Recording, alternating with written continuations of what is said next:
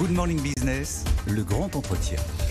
Et notre grand entretien aujourd'hui sur BFM Business et sur AMC Découvert, c'est avec Boris de Richebourg. Bonjour, vous êtes le PDG d'Elior France et président de De Richebourg Multiservice. Alors on va essayer de la faire courte et simple, mais Elior euh, a été repris par De Richebourg après euh, des années de difficultés financières. Et là, vous annoncez, enfin vous annoncez, vous tentez de relancer Elior avec une nouvelle histoire, euh, un désendettement massif dont on va parler. Vous avez publié des résultats pour Elior la semaine dernière qui ont permis au titre de grimper 12% en une journée, ce qui veut dire qu'il y a euh, une certaine attente. C'est l'ère du redressement que vous mettez en place. C'est quoi votre, votre feuille de route?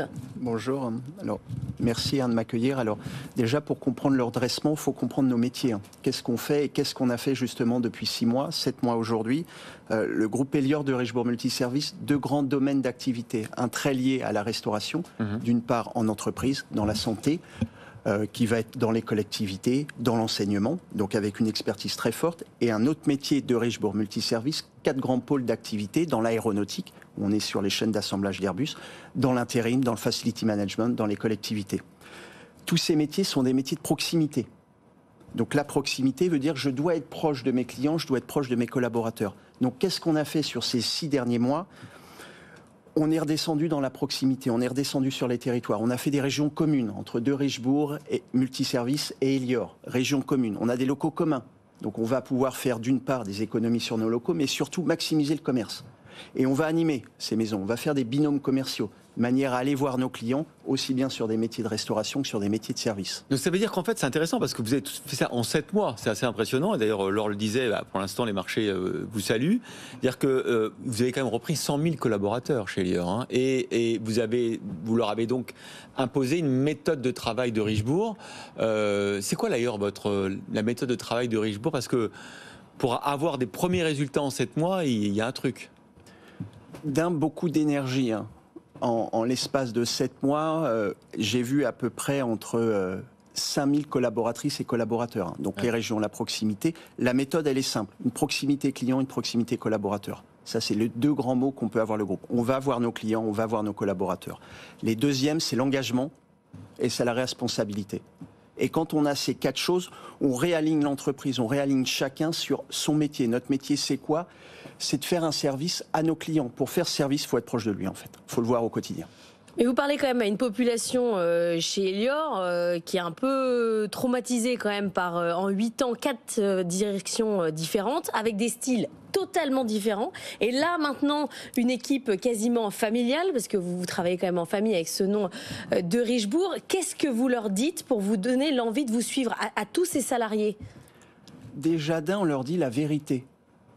Comment ça se passe dans le groupe? Qu'est-ce qui va se passer et qu'est-ce qu'on est en train de faire? Donc on a, on a un sujet déjà de transparence. Hmm. On en est où? Qu'est-ce qui s'est passé? Oui, il y a eu des changements. Oui, il y a peut-être eu des directions qui étaient sûrement pas les bonnes. Oui, voilà ce qu'on va faire aujourd'hui. Et aujourd'hui, le changement qui est majeur, la stabilité. On a une stabilité long terme. Stabilité familiale, puisque en fait vous contrôlez maintenant 48,4% euh, euh, d'Elior. Euh, le reste c'est du flottant. Donc vous êtes en contrôle pour euh, longtemps, euh, presque ad vitam aeternam peut-être. On ne sait pas ce que dire à l'avenir, mais bon. Bien sûr, on n'est pas un groupe financier, on est là pour du long terme, on est là pour créer une histoire industrielle avec une expertise très forte. On est là pour longtemps. Alors vous êtes dans plein de services, vous avez expliqué votre activité, mais là vous avez découvert un peu le milieu de la restauration quand même euh, collective avec Elior. Qu'est-ce que votre, votre rapport d'étonnement au bout de sept mois sur cette nouvelle activité pour vous? Je dirais que le premier rapport d'étonnement, il y a une expertise qui est énorme dans le groupe on a des collaborateurs qui sont engagés, on sait très bien faire notre métier. Ça, c'est la première chose. Si j'avais un rapport un peu plus négatif, il devient positif. Peut-être qu'on a oublié une certaine gestion de proximité de nos clients et de nos collaborateurs sur du long terme. Celui-là, on l'amène avec une expertise très forte. Et du coup, le mix des deux, la combinaison des deux, l'énergie qu'on C'est-à-dire qu'il n'y avait plus la sensibilité commerciale, le fait d'aller voir les clients régulièrement, de leur parler, d'échanger, d'avoir des retours euh, de, satisfaction de la part de, des collectivités, des, écoles, des entreprises dans lesquelles vous travaillez? Il y avait ça, on l'a intensifié, on a redessiné des régions, on a fait des régions pour être le plus proche possible de nos clients et de nos collaborateurs. C'est pour ça qu'elles existent. C'est vraiment la proximité, c'est les territoires. Nos métiers sont des métiers de territoire, de proximité. On l'a intensifié, on l'intensifie, on anime en permanence les régions de manière à être le plus proche possible de nos clients. Sauf que on ne fait pas des étincelles quand même euh, sur un marché qui est, qui est, Mm. difficile. La restauration collective, c'est difficile. Le télétravail est passé par là. Il y a l'inflation qui est difficile à répercuter en matière de coûts. C'est quand même compliqué. Donc, vous pouvez pas non plus vendre des choses qu'on ne peut plus acheter. Donc, comment vous arrivez à, à gagner des nouveaux clients? Cette proximité dont on parle, elle est primordiale. Oui, on est tous passés par Covid, télétravail, inflation matières premières. C'est dur pour tout le monde. Notre métier, c'est du service. Moi, je rends un service à un client.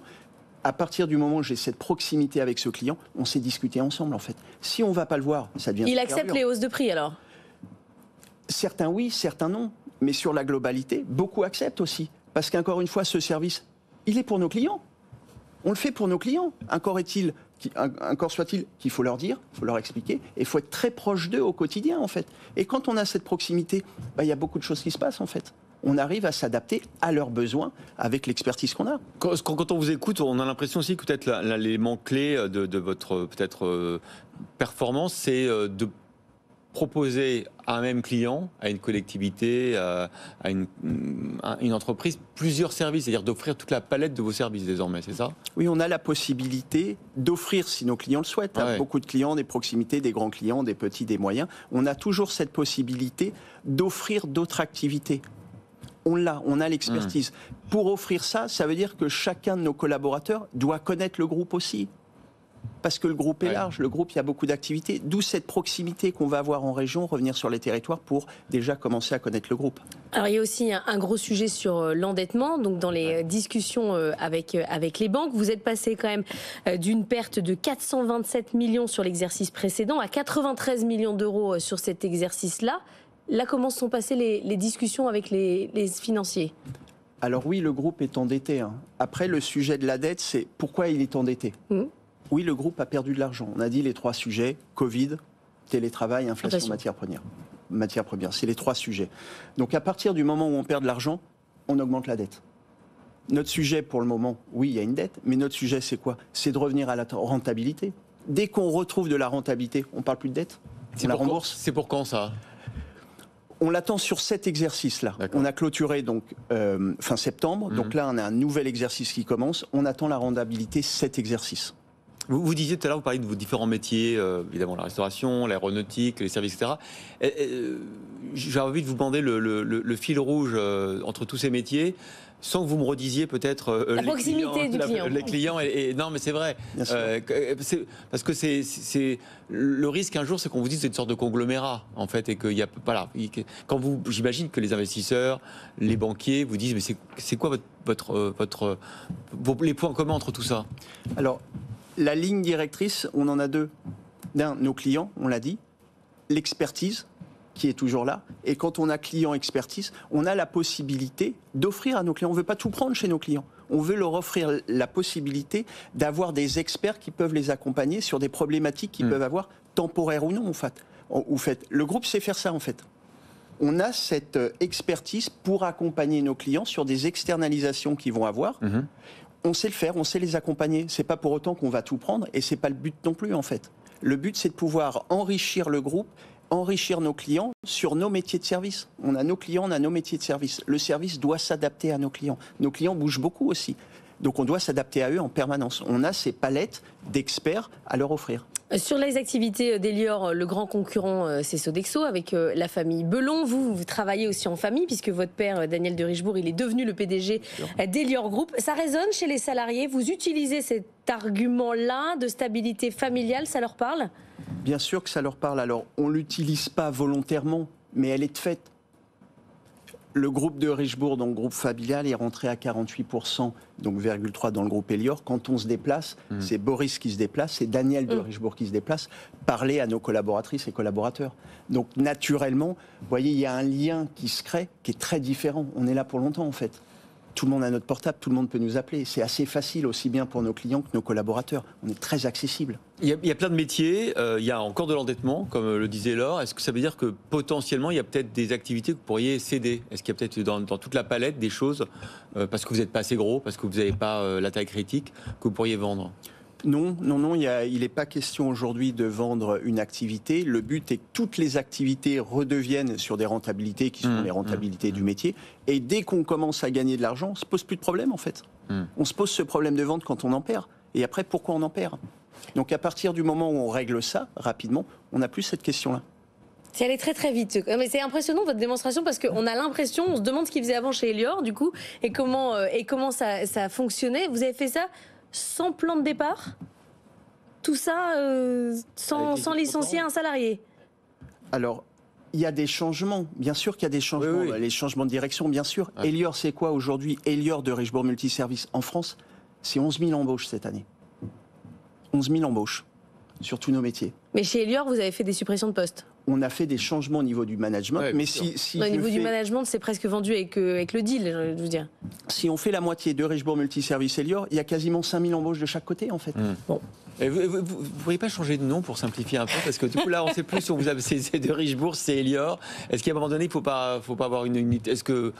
Non faut- Il y a une expertise très forte Ouais. sur chaque métier aujourd'hui qui est connu, qui est reconnu. euh, Ouais. c'est, ça marche comme ça aujourd'hui. oui. Ouais, ben, peut-être un nom de holding, comme Stellantis, des choses comme ça. oui. Non, c'est pour nous, quoi. c'est- Ah pardon, mais, mais non, Non, c'est pas prévu. moment, c'est pas prévu. Bon, vous revenez quand vous êtes rentable et qu'il n'y a plus de dette alors Avec Prochain plaisir. Merci Avec beaucoup d'avoir été Merci avec nous, Boris de Richebourg, PDG d'Elior France et donc président de De Richebourg Multiservice. Attention, vous êtes prête pour le débat Oui.